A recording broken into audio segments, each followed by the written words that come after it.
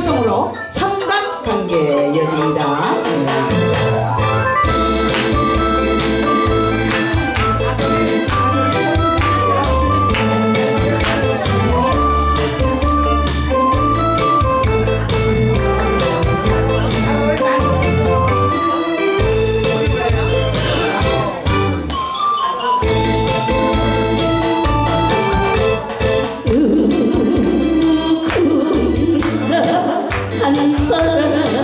嘿嘿嘿。